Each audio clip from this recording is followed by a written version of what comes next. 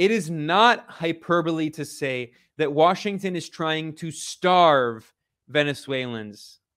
That is not just my opinion. That is not just some insane exaggeration. All you have to do is look at what the US government has been doing to try to crush the Venezuelan government's CLAP food program. That is CLAP. That stands for Local Committees of Food and Production.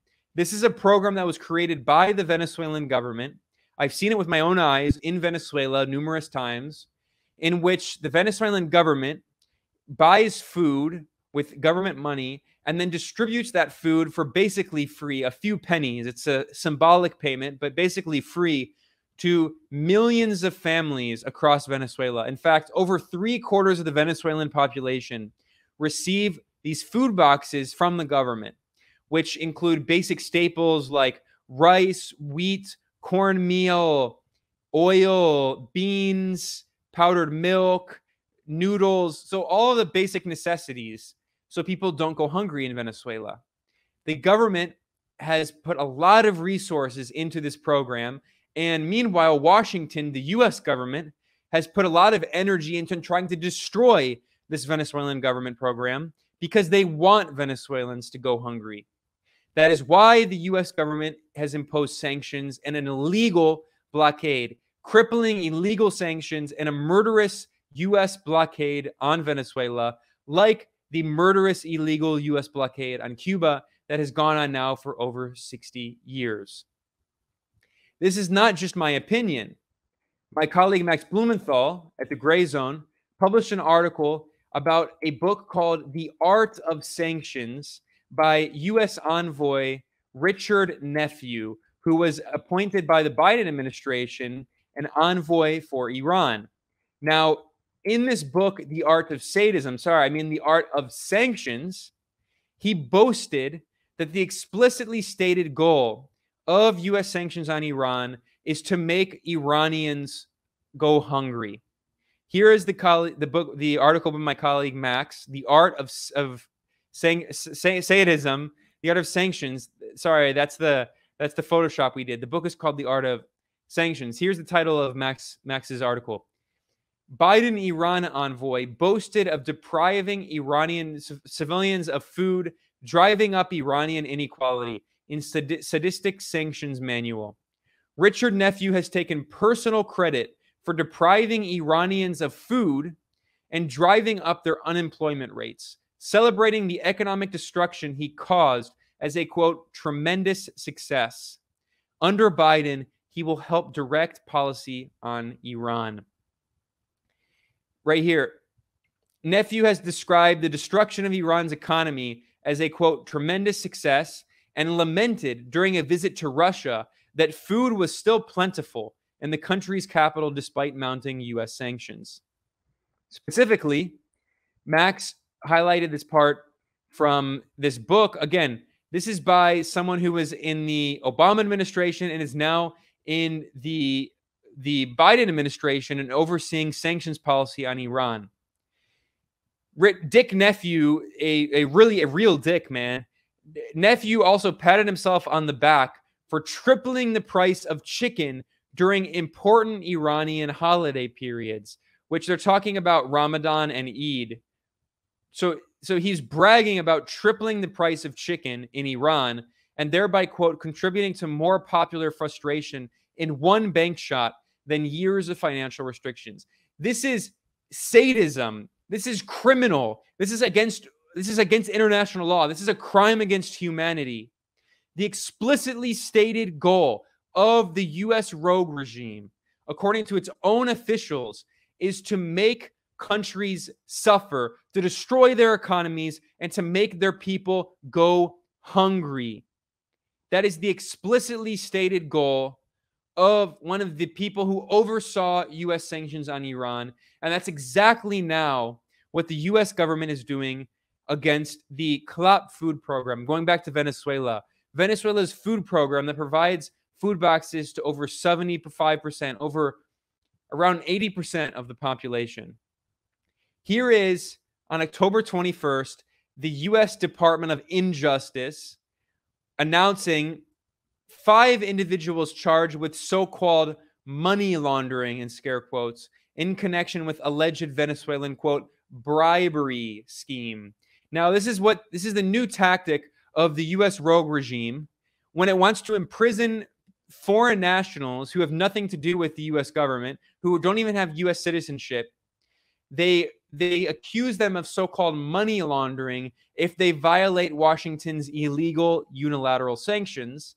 And then the US tries to extradite those people and imprison them by a kangaroo court for violating US domestic law, even though they're not US citizens. We are talking about a global dictatorship. The United States is a global dictatorship.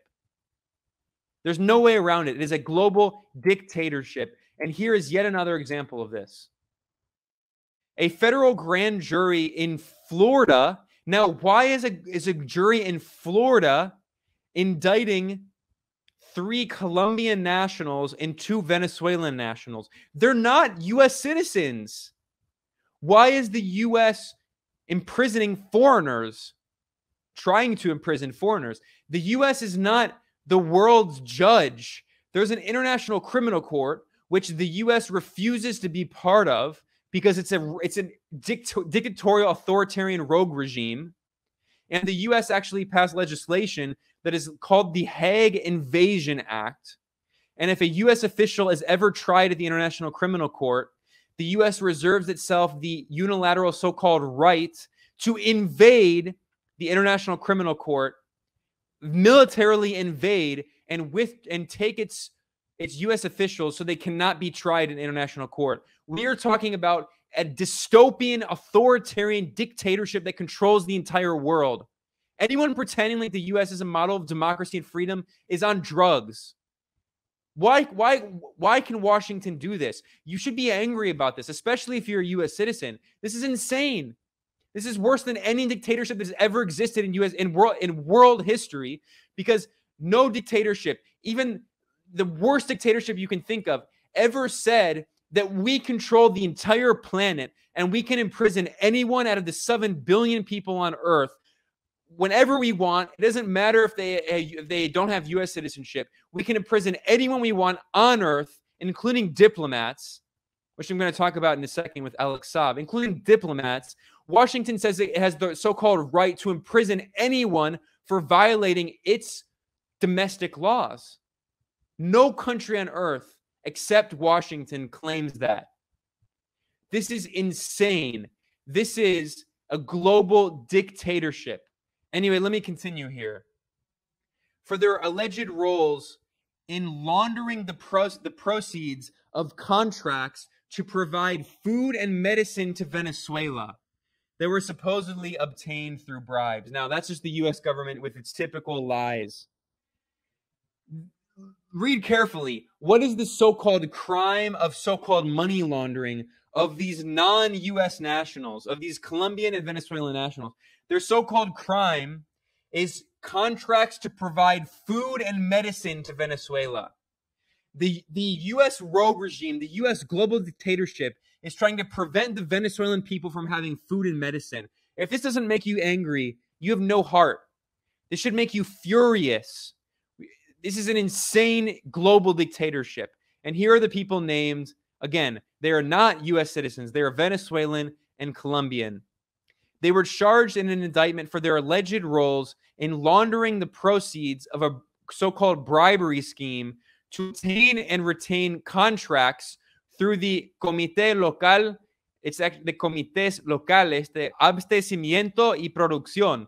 That is the local committees for food and production, the CLAP program, a Venezuelan state owned and state controlled food and medicine distribution program for the people of Venezuela. They admit that this is about their contracts to get food and medicine for the people of Venezuela for the Venezuelan government. This is the U.S. Department of Injustice, this global dictatorship, admitting again, just as the U.S.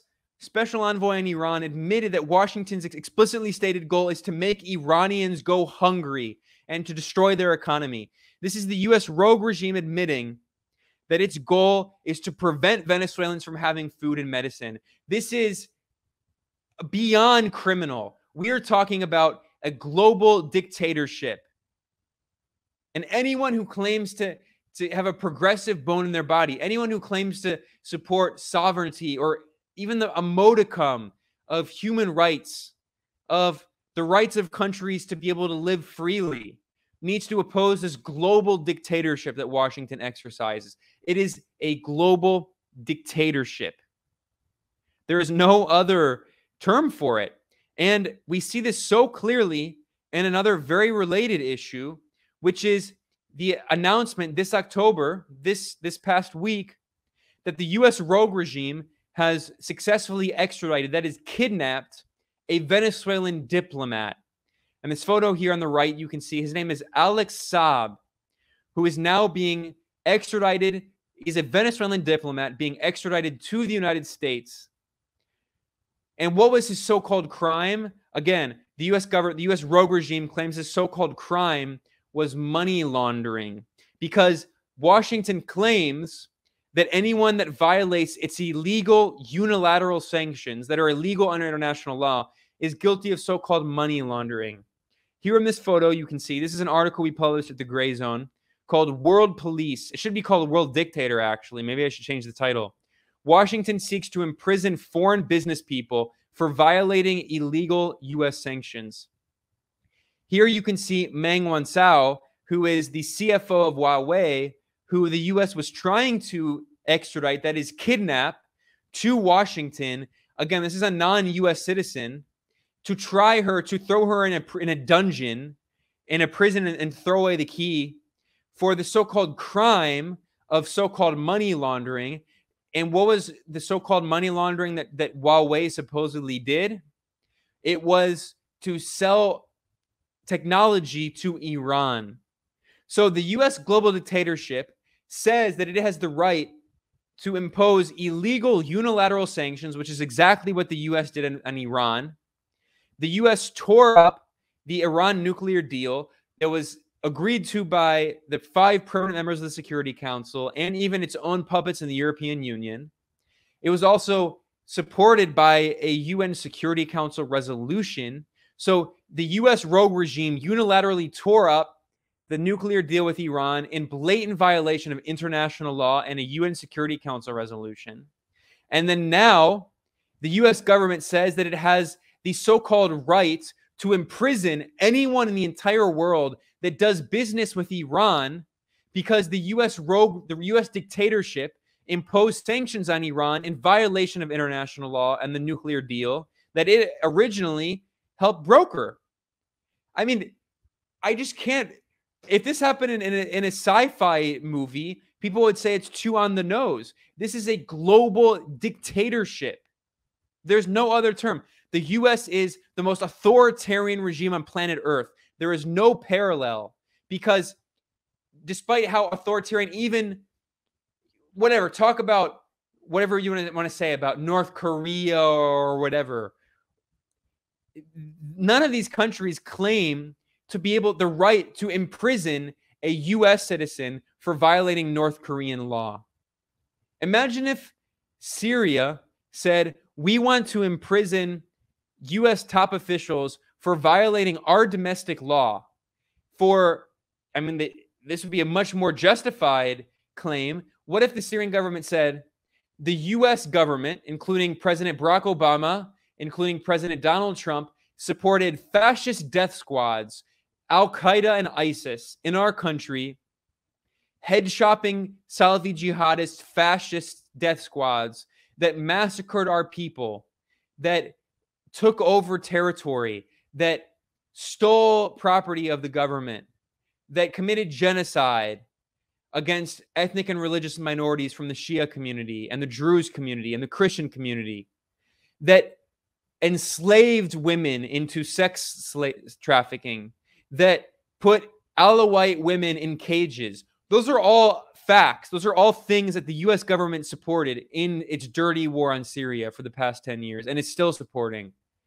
What if the Syrian government wanted to try and imprison US government officials in its own prisons? Now, That would honestly be much more justified than what the US government is trying to do, the US rogue regime.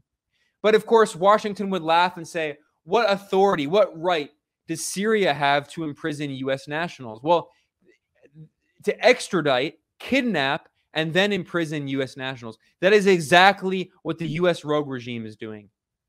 And the explicitly stated goal of these policies is to make the Venezuelan people, the Iranian people, the Syrian people, the Nicaraguan people, the Yemeni people, the Zim- people of Zimbabwe, the people of now Eritrea and Ethiopia. The US government wants them to suffer. It wants them to go hungry. It wants them to not have medicine. This is an, a global dictatorship. And we need to be talking about that. We need to be speaking against it because for me, I can't think of an issue that's more important. This is the most important issue, especially if you're a US citizen like I am. I mean, it, it is it is absolutely incredible. And the last note I'm going to end on before I end this segment, talking about how Washington wants to make people suffer, starve, go hungry, and die. And US sanctions, according to a report from the Center for Economic and Policy Research, CEPR, US sanctions have already resulted in the deaths of more than 40,000 civilians in Venezuela. And that's a conservative estimate because they can't get access to medicine. A, the former UN Special Rapporteur, Alfred de Zayas, has said that actually there's probably more than 100,000 Venezuelans who have died because of these sanctions. And meanwhile, the US just kidnapped Venezuelan diplomat Alex Saab because of the so called crime of him going to Iran to buy food and medicine for the Venezuelan people. The last note I'm going to end on here is that this policy is not even new. Every single US president since the 1960s has carried out this policy of trying to starve Cubans specifically to bring about, as they say, hunger, desperation, and overthrow of government. That is the explicitly stated goal of the US dictatorship, the US rogue regime. Here is a document directly from the US Office of the Historian. This is the US State Department. This is a diplomatic cable, an internal diplomatic cable, a memo from the Deputy Assistant Secretary of State for Inter American Affairs back in 1960, the beginning of the US blockade on Cuba that has gone on over 60 years now. This cable shows, I'm going to actually put this, I'm going to zoom in more so people can see. This is official evidence directly from the mouth of the US government. It admits that back in 1960, the majority of Cubans supported Fidel Castro and the socialist revolution in Cuba, and there was no effective political opposition. So they say this is the US State Department admitting explicitly, quote, the only foreseeable means of alienating internal support is through disenchantment and dis- and disaffection based on economic dissatisfaction and hardship. This is the US government admitting that it wants to create economic dissatisfaction and hardship. The US rogue regime wants to make the Cuban people suffer. And they say, quote, every possible means should be undertaken promptly to weaken the economic life of Cuba. This is Washington wants to weaken the economic life of Cubans and, quote, make the greatest inroads in denying money and supplies to Cuba, to decrease monetary and real wages, to bring about hunger, desperation, and overthrow of government. This is Washington admitting from the mouth of the U.S. State Department that its goal is to bring about hunger, desperation, and overthrow of government in Cuba. That has been the policy since 1960. It is still the policy against Cuba today. And now it's also the policy against Venezuela and Iran and Yemen and Zimbabwe and Nicaragua and Syria and so many countries. This is a global dictatorship. And the most important thing that you can do is organize against that global dictatorship. The US is, is in no way res- resembling a democracy. The US is a dictatorship in terms of the 1%, in terms of the capitalist elites from Wall Street who control all of the wealth, who control politics, have politicians eating out of their hands. The vast majority of people in the Senate. Almost all of them are are millionaires, and the majority in the Congress in the House are are millionaires as well. So not only is the U.S. a fake democracy, a plutocracy, a capitalist dictatorship domestically, on the international stage, it is a rogue regime, a dictatorship that, that believes it has the right to imprison anyone it wants in the world, including journalists like Julian Assange, who's being tortured in a British prison right now because the US rogue regime claims that he violated its domestic national law. So the US rogue regime, the US dictatorship, is trying to kidnap, that is, extradite, kidnap Julian Assange, an Australian national, and throw him in a dungeon in the US rogue regime after a, a, a after a show trial, a kangaroo court. That's what they're going to do now to to Alex Saab, a Venezuelan diplomat who was just trying to get food for the Venezuelan people. That is what they tried to do to Meng Wanzhou, but did not succeed. The the Chinese Huawei executive. That's what they're also trying to do right now against a North Korean executive, a, a North Korean businessman rather, in Malaysia. The U.S. is trying to kidnap a North Korean businessman in Malaysia and extradite him, kidnap him, and send him to the U.S. to be thrown into prison for violating its sanctions on North Korea. There's no other word for this. It's a global dictatorship. And if you're not opposing the world's global dictatorship, then I guess you don't actually care about freedom. I guess you don't actually care about human rights. And it really shows the insane hypocrisy of the US government talking about freedom and human rights while supporting all of these horrific regimes, the Saudi dictatorship, the the blood-soaked narco dictatorship in Colombia, and then trying to imprison anyone it wants anywhere around the world for violating its arbitrary laws written by a bunch of billionaires and corporations.